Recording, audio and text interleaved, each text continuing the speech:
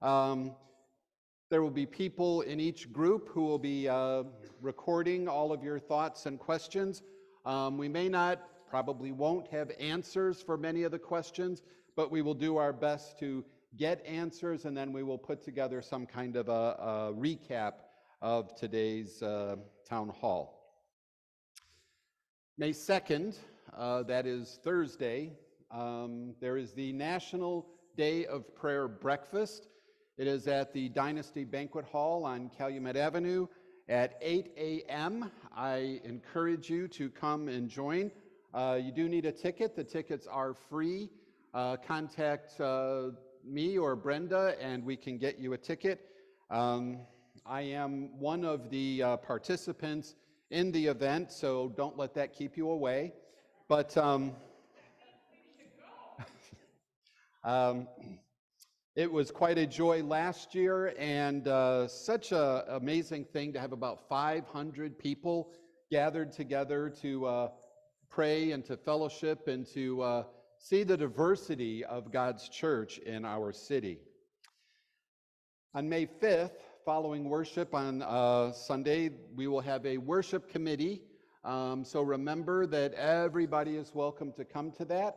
And if you would like input on uh, what worship looks like, especially if you would like input on uh, songs that you might know, then uh, come to that so that you can guide me. Um, and uh, it is important work. For Mother's Day, which is May 12th, we are uh, collecting photos of your mothers to display during worship. Um, so please, uh, if you'd like your mother to be honored visually, uh, send a picture to uh, Brenda in the office. And uh, if you have previously submitted one in previous years, uh, just let Brenda know that you do approve using it again. And this past week and this coming week, the United Methodist General Conference is meeting. General Conference is every four years, although because of COVID, the one we're having now in 2024 is actually the 2020 General Conference. They do very important work because that is the only group in the entire church who can actually make decisions, set policy, and uh, review doctrine. So their work is extremely important.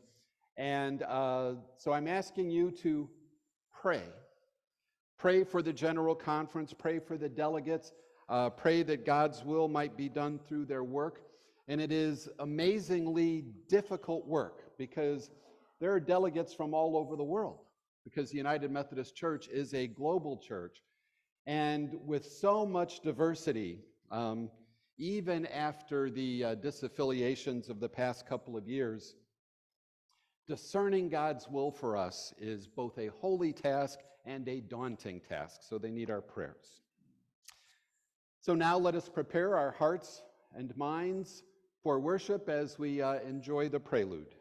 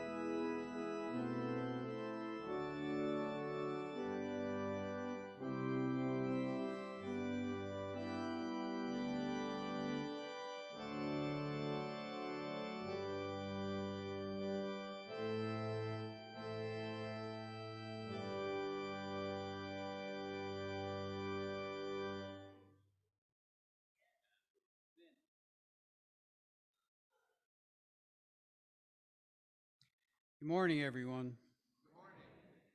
Please join me in the call to worship. Easter people, we have been saved by the risen Christ, the life-giving vine. We abide in love, the life-giving vine. We are branches of the vine, sustained, nurtured, and pruned by love. We have no life apart from love, the life-giving vine.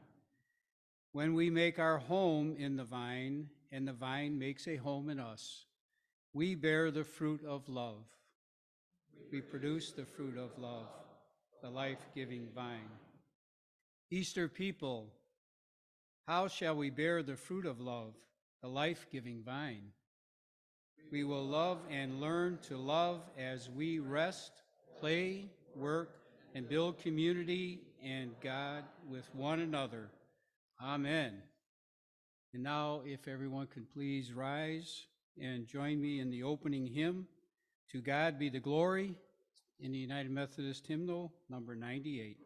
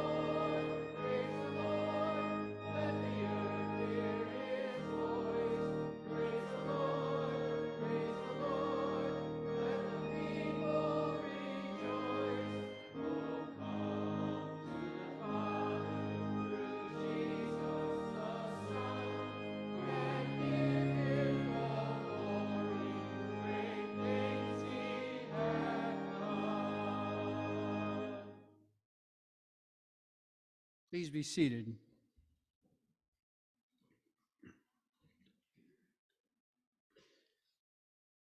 The opening prayer for this morning Loving God, send your Spirit among us now. Bind us to you in the love of this day, that we may worship in unity and friendship.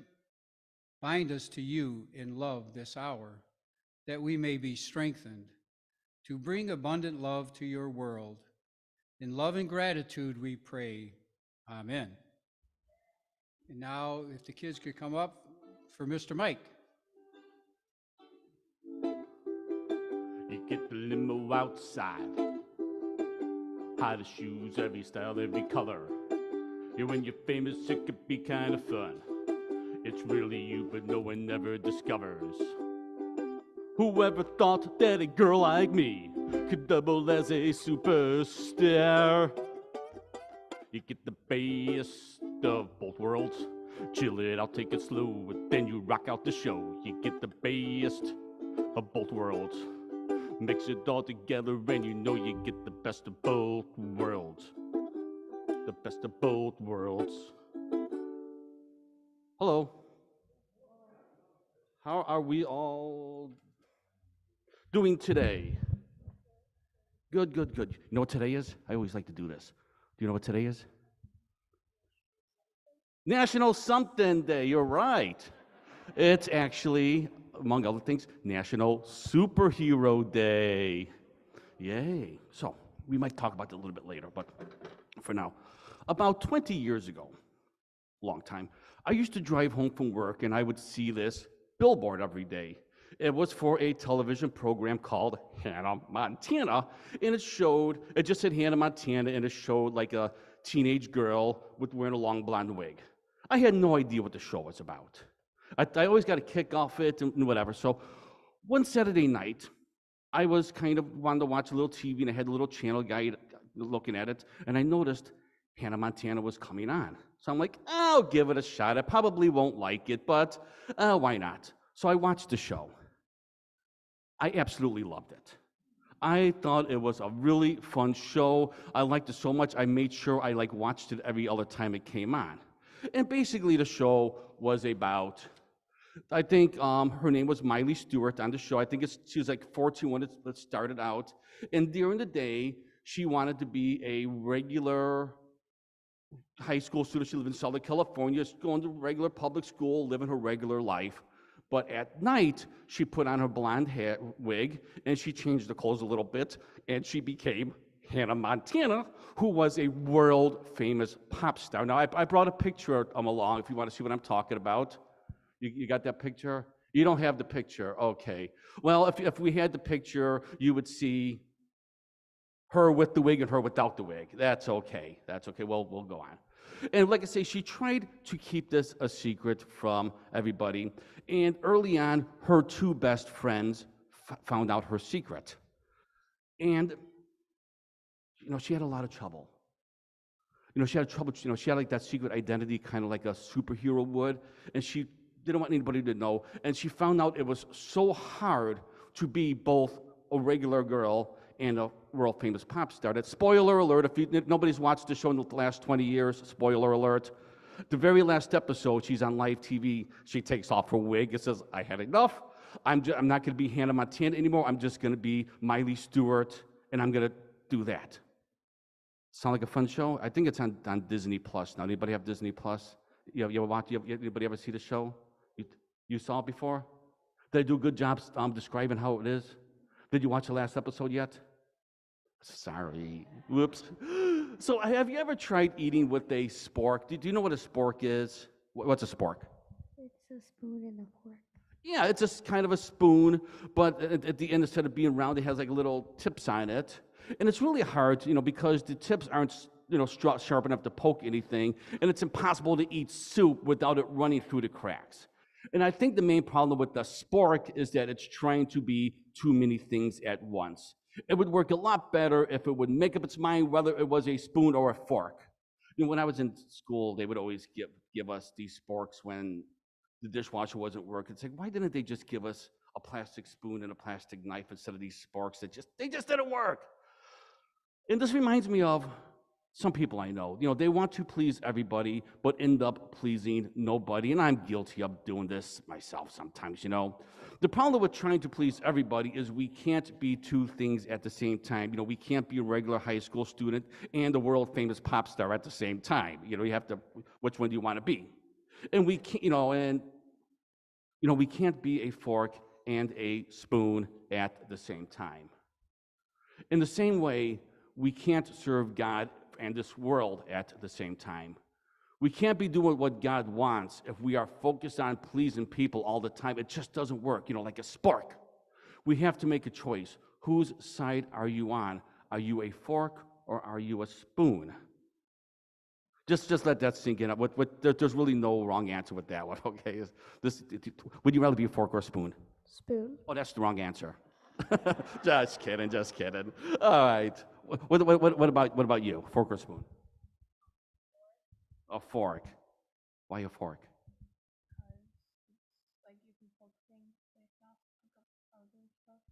You could poke things with it and pick up other stuff with it. Could, could you eat soup with it? Yeah, that's right. Okay. So now the Bible tells us no one can serve two masters. For either he will hate the one and love the other, or else he will be loyal to the one and despise the other. You cannot serve to um, God and man. That is from Matthew 6 24. Wasn't this fun? Are you going to go home and watch Hannah Montana now? It's a really good show. Yeah, you guys. Anybody here ever watched that show? Not, not uh, you did. That's okay. Okay, that's a few. It's it's a fun show. All right. Anyway, let's pray. Heavenly Father, help us to realize that doing your will is more important than pleasing people. Help us to stop getting caught up in what other people think and focus on what really matters, which is serving you. And all of God's children say, Would somebody like to read a memory verse? RJ, would you like to read it? No. All right, Sam. I have hidden your word in my heart that I might not sin against you. Psalms 119, 11. Very good. Yay. And I'm going to tag uh, Terry back in, I think. Maybe not.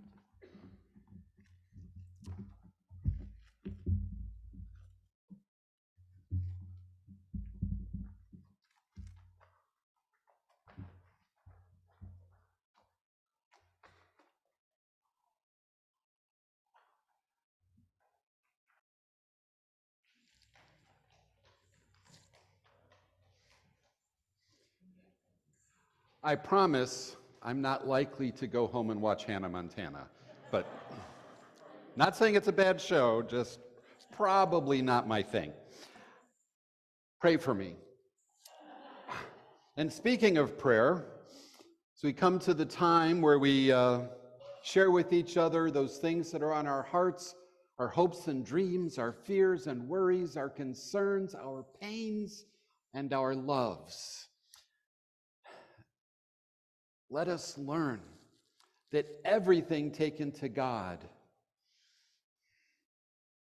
is in the right hands. That we can trust God with our whole lives, even though we tend to hold on to parts of it just to make sure it turns out the way that we want. It's hard to trust, it's hard to let go.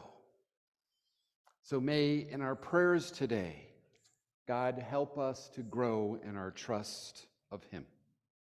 As we uh, sing our prayer hymn, Blessed be the tie that binds, uh, please fill out in the pew cards any uh, prayer requests that you have. Um, and we will uh, not only pray for those today, but throughout the week. So let us sing, Blessed be the tie that binds.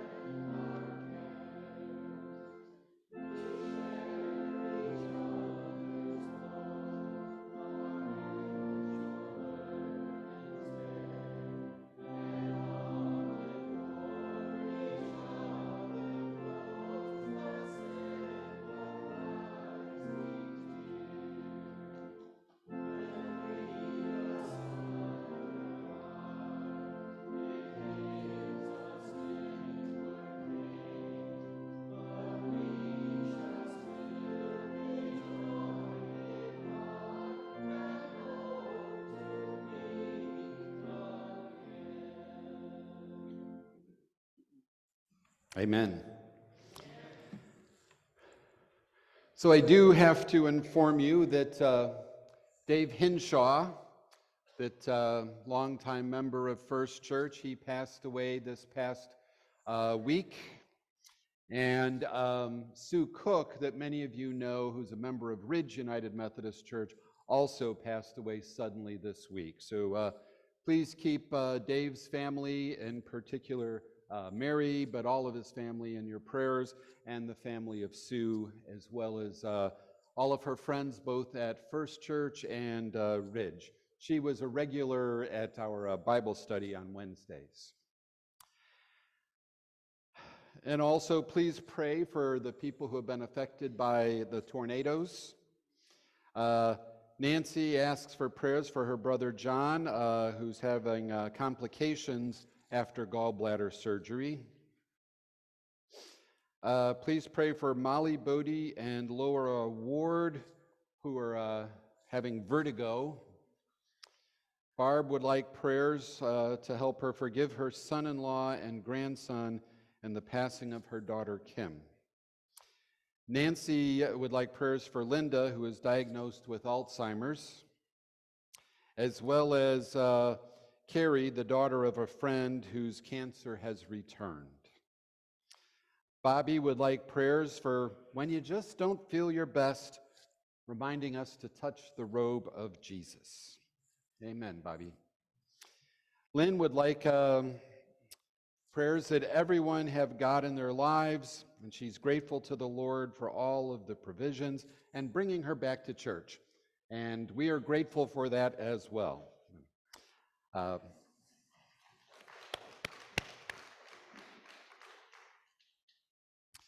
Pat would like prayers for Kevin Shelton, uh, grandson. Kevin graduating from Trinity College this week. It's a praise. Ansley is asking for prayers for her soccer coach who has stage four bone and prostate cancer. Um, and Cheryl, in particular, is asking for prayers for uh, Dave Hinshaw's family. Uh, Cheryl and Mary are quite close. Uh, and Don um, has asked for uh, prayers um, of thanks because Betty is out of the hospital. She was in the hospital for a little bit, and he's uh, grateful for all the prayers that helped to support them through that. Uh, Prudy is asking for prayers for her friend Richard, who's uh, has ongoing recovery from surgery, and to pray that he continues to recover. So let us take all of these things the concerns, the requests for healing, the prayers of gratitude and praise, and the prayer that we might grow closer to our Lord let us, in fact, grow closer by having a heart to heart with God. Not just speaking our wants and desires, but listening to God's reassurance, listening to God's support, and listening to God's call upon our lives. Let us pray. Gracious Lord, you sent your son Jesus to be a human like us. He knew what it was to grieve. He knew the full range of human emotion. He knew the struggles and he knew the joys and the victories. But above all, he knew you. For in Jesus, he was like us and yet more than us. He was human and your son. And so he is the perfect mediator, the perfect go between between your holiness and our fallenness, between your love and our selfishness, between your very presence and our frequent seeking to hide ourselves from you. He indeed is the vine. Help us, Lord, to stay connected, Feed us from your root, that we might bloom and blossom and bear fruit, that we might love the way Jesus taught us to love, that we might trust our whole lives, our families, our friends, our communities, and our world into your care, and that we might live boldly, holding back nothing, knowing that if we serve you faithfully, you will bless these efforts, not because we make them, but because you are leading us. For all those who suffer, who are in pain, who are ill, who are facing death, we ask, Lord, that you give your peace and your strength. For all of those who are rejoicing and celebrating, we ask, Lord, that your joy might fill those celebrations.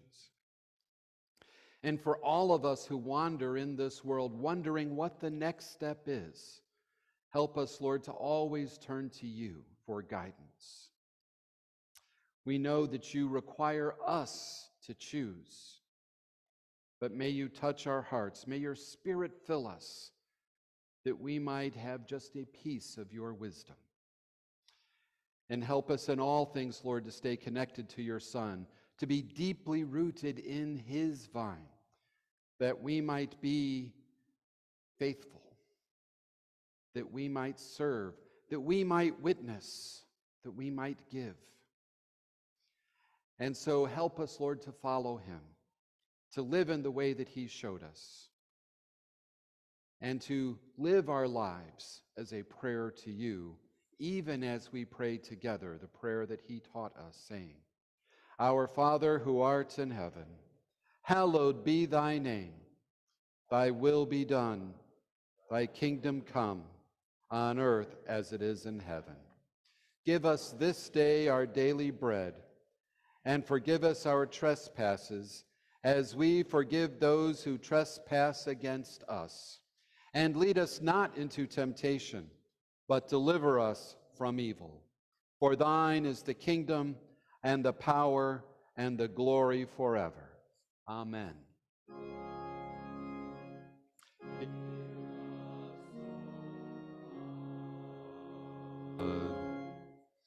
And now let us be blessed by the choral anthem, Come to the Water.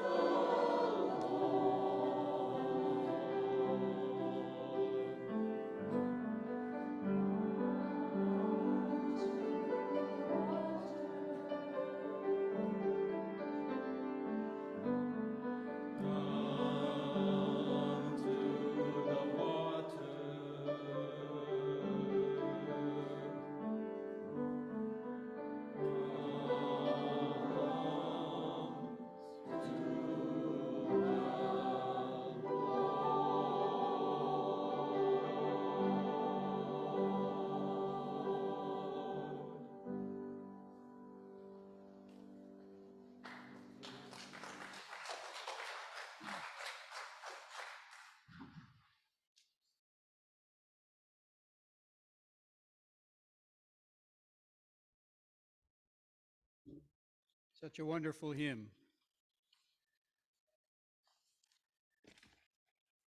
The prayer of illumination. Loving God, may we find nourishment in the words we hear today, and may we remain rooted and connected in your loving word, that we, your disciples, may bear much fruit. Today's scripture readings first are the responsive reading from Psalms 22, verses 25 to 31. If the congregation can join me in the responsive portions. From you comes my praise in the great congregation. My vows I will pay before those who worship the Lord. The poor shall eat and be satisfied. Those who seek the Lord may praise the Lord. May your hearts live forever. All the ends of the earth shall remember and turn to the Lord, and all the families of the nations shall worship before the Lord. For dominion belongs to the Lord, who rules over the nations. All who sleep in the earth shall bow down to the Lord. All who go down to the dust shall bow before the Lord, and I shall live for God. Posterity shall serve the Lord. Each generation shall tell of the Lord and proclaim his deliverance to a people yet unborn. Surely the Lord has done this. And then the next reading is from John. If we could stand, please. This is John 15, verses 1 to 8. I am the true vine, and my Father is the gardener. He cuts off every he cuts off every branch in me that bears no fruit, while every branch that does bear fruit he prunes, so that it will be even more fruitful. You are already clean because of the word I have spoken to you. Remain in me as I also remain in you. No branch can bear fruit by itself, it must remain in the vine. Neither can you bear fruit unless you remain in me. I am the vine, and you are the branches. If you remain in me and I in you, you will bear much fruit. Apart from me, you can do nothing. If you do not remain in me, you are like a branch that is thrown away and withers. Such branches are picked up, thrown into the fire, and burned. If you remain in me and my words remain in you, ask whatever you wish, and it will be done for you. This is my Father's glory, that you bear much fruit, showing yourselves to be my disciples. This is the word of God. Thanks be to God. Please be seated.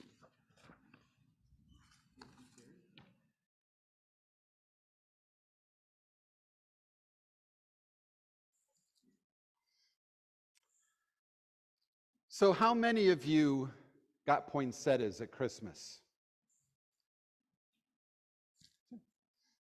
Are they still alive?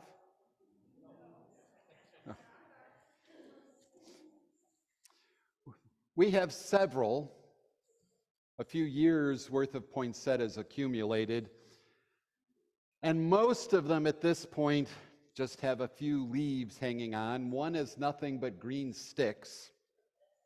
One looks beautiful though. But every year I do the same thing since I learned this trick. After all risk of frost has passed, you cut it off to about four to six inches tall. Just chop it off. Put it outside and leave it. Remember to water it in the middle of summer. But then you have a beautiful full plant ready for next Christmas. We even had the miracle this year of one of them blooming. I've never had one bloom that we did that to. But the trick is, you got to prune it. Now, sometimes pruning can be the wrong thing to do. How many of you know what kudzu is? Kudzu is known as the vine that ate the South. Um, with my roots in Mississippi, you would just see these huge vines taking over everything. They always say, don't stand still too long or you will be swallowed alive.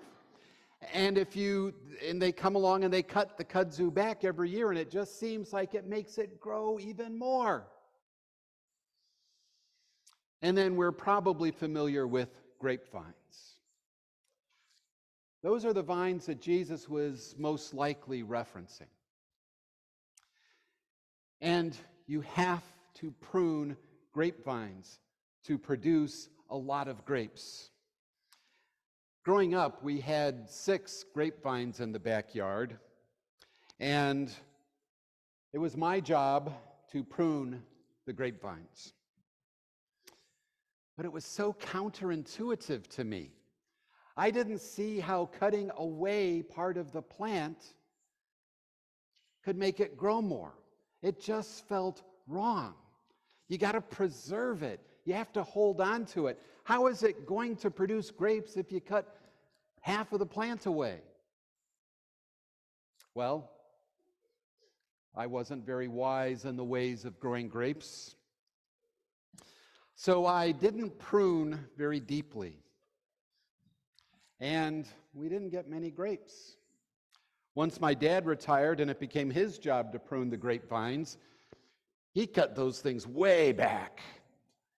And we always had so many grapes, and mom made this delicious grape jelly. It was so wonderful. Jesus is talking about the necessity of both staying in the vine but being pruned. Seems like a, another contradiction to me. Either I'm in the vine or I'm being pruned. But perhaps the pruning is more about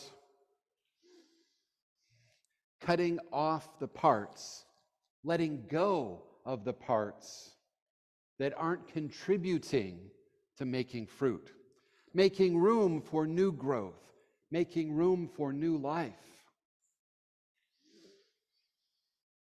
There are churches, religious traditions, who have used these verses to kick people out of churches, to shun them, to disfellowship them, to excommunicate them when they don't measure up. Personally, I think that's a misunderstanding here.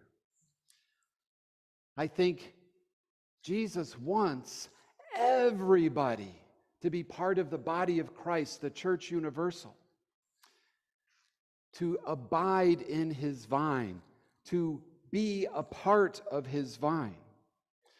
But we come to Jesus with all sorts of things that we want to keep in addition to Jesus. We want to keep our opinions. We want to keep our worldly beliefs. We want to keep our preferences. We want to keep our pet sins. We want to keep our politics. We want to keep our vision of what the future should be. But all of those things can be much more like kudzu than they are like a productive grapevine. Rather than bearing fruit, they can strangle the vine that is Jesus in us at our root. When we let all of our our things take precedence over the vine, Jesus, then we don't bear much fruit.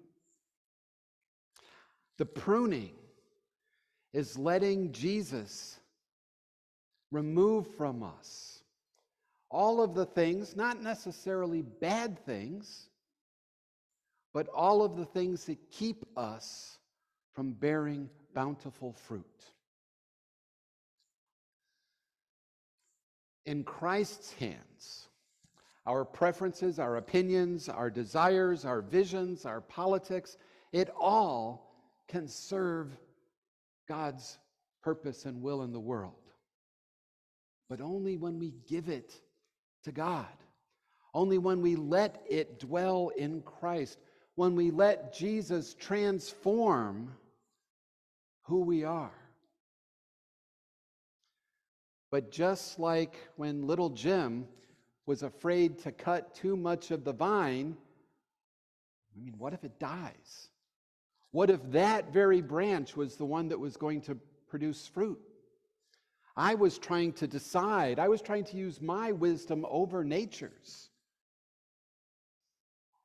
And all too often, we try to use our wisdom in place of God's. It's scary to cut things out, to cut things off. It hurts sometimes. They tell us that trees and plants actually scream by releasing chemicals that alert other plants that they're being cut. We scream too, don't we?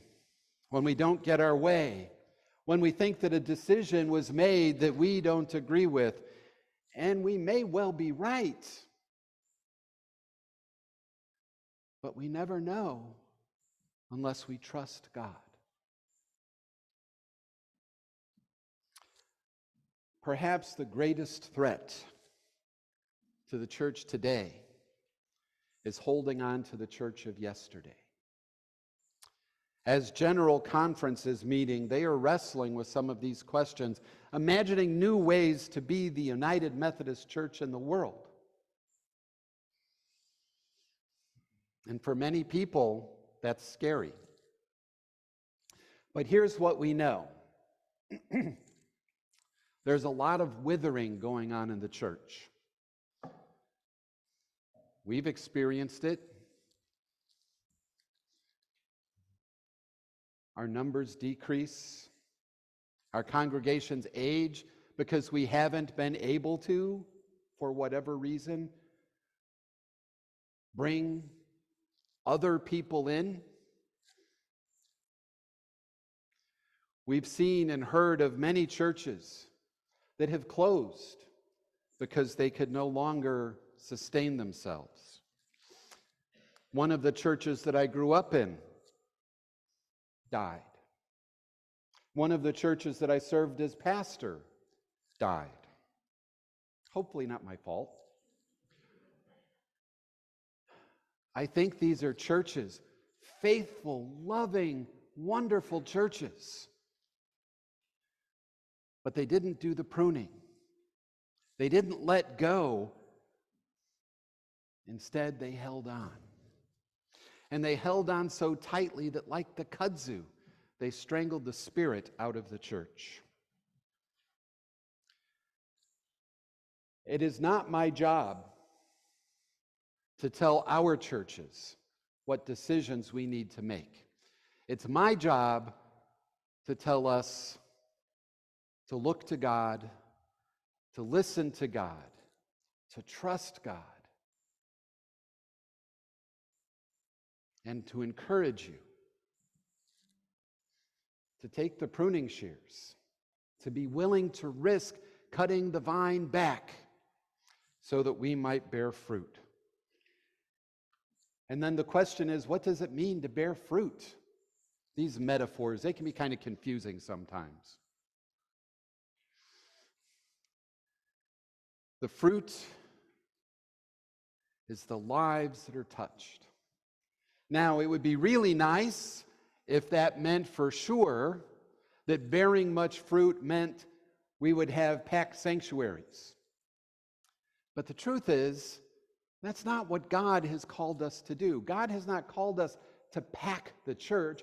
God has not called us to balance the budget, though we need a balanced budget to do the work that God has called us to.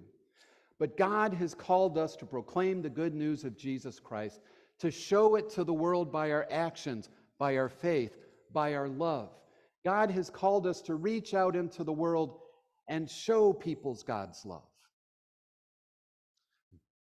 I believe that when we do that, some of those people would say, gee, I want to be a part of what they're doing.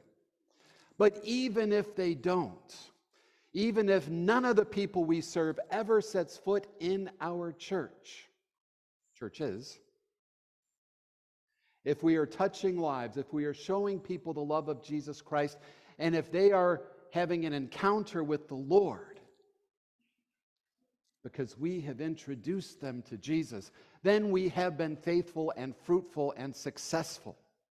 And whatever comes, well, I will leave it in God's hands. Even though that's hard for me because I want it all to turn out the way I want it to turn out. But God is king, God is wise, God is love. And God is the one who gives us the mission and the call. And God is the one who makes us fruitful. Our job is not to force the issue, our job is to be obedient and to stay in the vine, stay connected to Jesus. I pray that any withering that we have done in the past is over. I pray that we are willing to do the pruning that needs to be done, whatever that looks like. And I pray that we grow in our trust of God.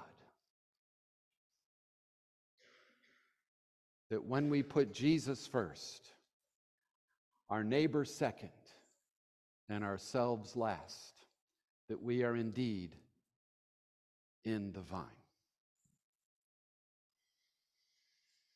One of the ways that we share with the world that we are part of the vine, Jesus, is by professing our faith. So, in rehearsal for the faith that we live in the world, let us profess together the faith that we share in the Apostles' Creed. I believe in God, the Father Almighty, maker of heaven and earth, and in Jesus Christ, his only Son, our Lord who was conceived by the Holy Spirit, born of the Virgin Mary, suffered under Pontius Pilate, was crucified, dead, and buried. The third day he rose from the dead. He ascended into heaven and sitteth at the right hand of God the Father Almighty. From thence he shall come to judge the quick and the dead. I believe in the Holy Spirit, the holy Catholic Church, the communion of saints the forgiveness of sins, the resurrection of the body, and the life everlasting. Amen. Now let us give thanks to the Lord our God. It is right to give our thanks and praise. It is right and good and a joyful thing, always and everywhere, to give thanks to you, Father Almighty, creator of heaven and earth you created us to be a part of your garden of paradise. When we selfishly followed our own desires, we cut ourselves off from peace and joy. But your love for us can never be severed. Holy are you, and blessed is your Son, Jesus Christ. He is the true vine, and in him we are restored to full participation in the life you created us to enjoy. Pour out your Holy Spirit on us gathered here, that we might remain in you, so that your love might be perfected in us and the world transformed. Grant that we may go into the world in the strength of your Spirit to give ourselves for others. In the name of Jesus Christ our Lord. Amen.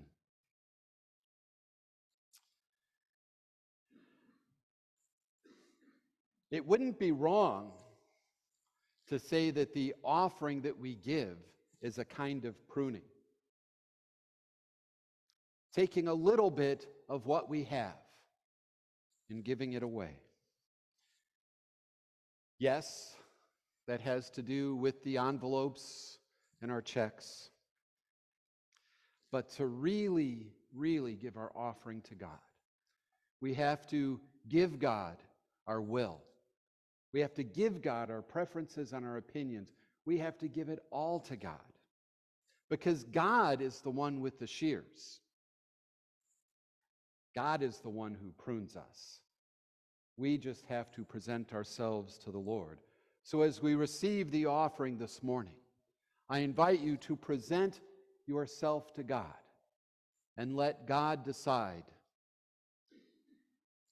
what He wants you to keep and what He wants you to let go. Ushers, please come forward.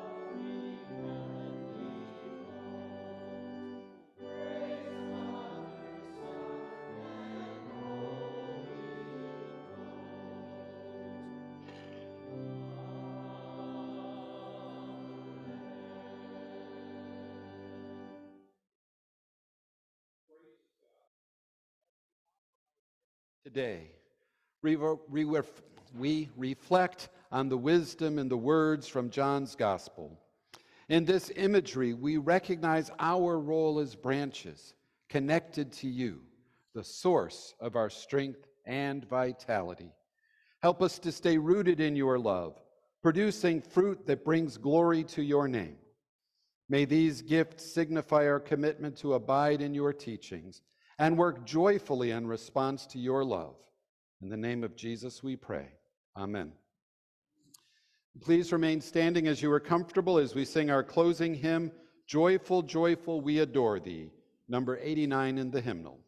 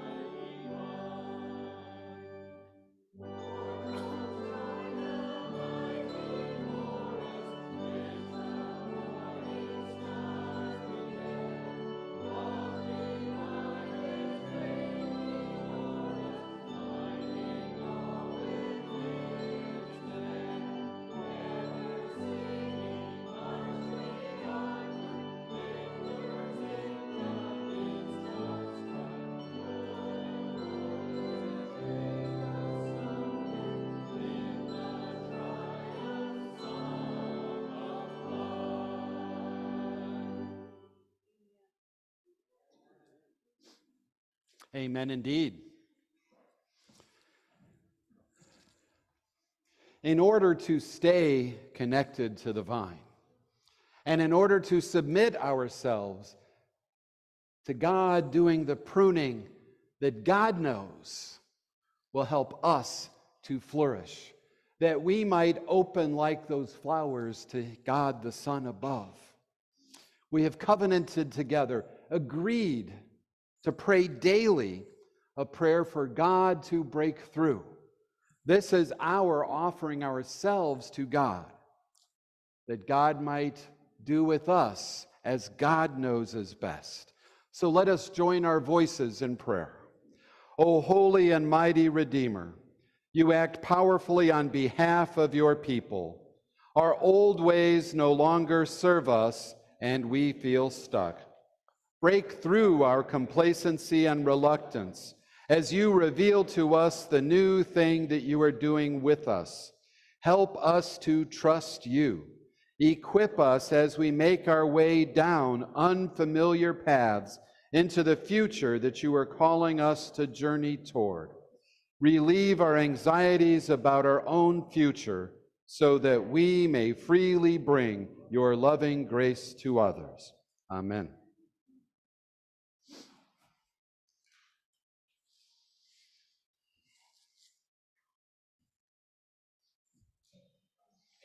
One of the things that God always does is surprise.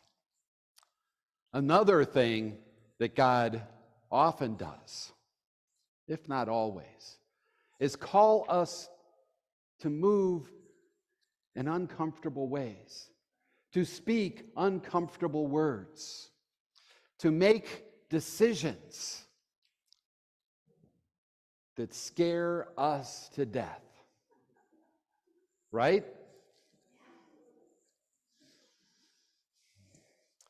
Being a follower of Christ in our psalm today referred to refuge. And a refuge is a place of safety, a place where the enemy can't get to you. But I want to be clear God has not called us to be hunkered down in some refuge, hiding from the world. But no, God Himself is our refuge. And so He is calling us not to hide, but to go forth. He is calling us to march outward. He is calling us to risk to risk worldly security so that we can be safe and secure in the vine of Jesus Christ.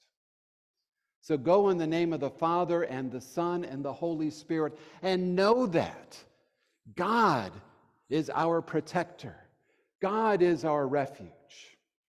Nothing in this world, nothing in religion, nothing in politics, nothing in our families, nothing in our friendships apart from God can make us safe, nor fruitful, nor holy. Be the people of God. Be fully in the vine. Amen. And enjoy fellowship, and then we will uh, give you some instructions about the town hall.